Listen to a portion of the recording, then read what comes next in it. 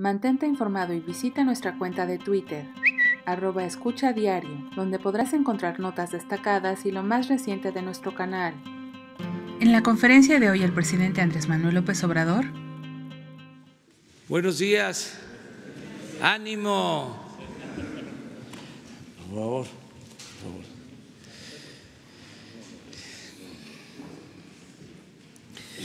Pues el día de hoy es eh, un día muy especial porque eh, nos acompaña el ministro Arturo Saldívar Lelo de la Rea, que es el presidente de la Suprema Corte de Justicia de la Nación. El día de hoy el presidente firmó junto con el ministro de la Suprema Corte de Justicia de la Nación, Arturo Saldívar, una iniciativa de reforma al Poder Judicial respetando la autonomía de los poderes. Esta será enviada al Congreso. La iniciativa de reforma busca erradicar la corrupción, el nepotismo y el acoso sexual, así como impulsar la paridad de género. Esta reforma es necesaria para contar con la transformación por el bien de todos. Una parte crucial de la reforma propuesta es el fortalecimiento de los defensores del pueblo de México. Importante que existan abogados que defiendan al débil de los abusos que comete el fuerte y sobre todo que haya justicia.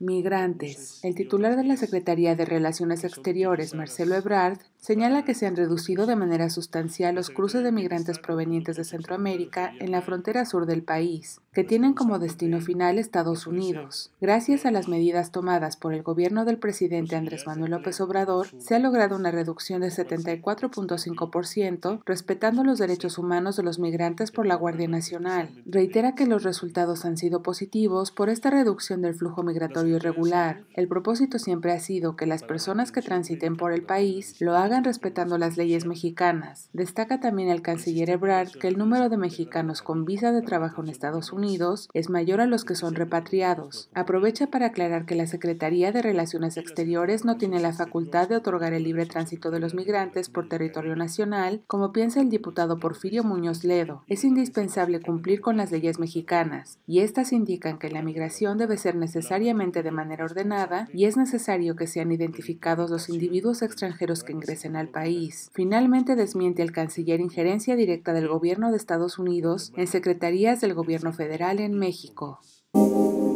Corrupción en Infonavit.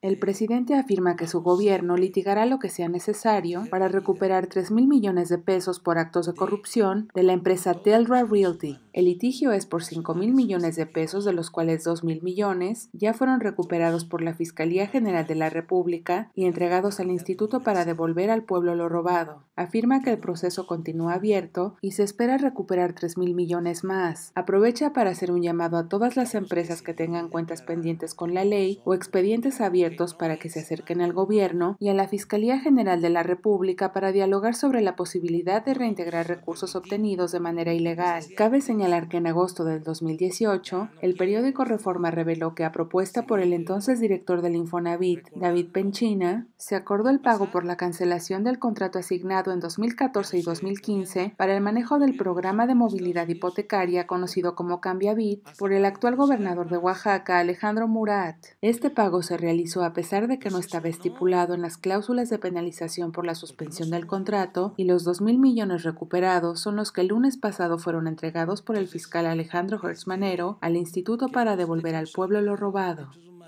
¿Les parece que, nos vemos mañana? Es que hay muchos temas. Este, mañana, mañana, mañana no va a haber exposición mañana. ¿Sí? Preguntas y respuestas. Bueno. Ya estás informado. No olvides darle like a este video, comparte y suscríbete a Escucha Diario. La conferencia del presidente Andrés Manuel López Obrador en 5 minutos o menos.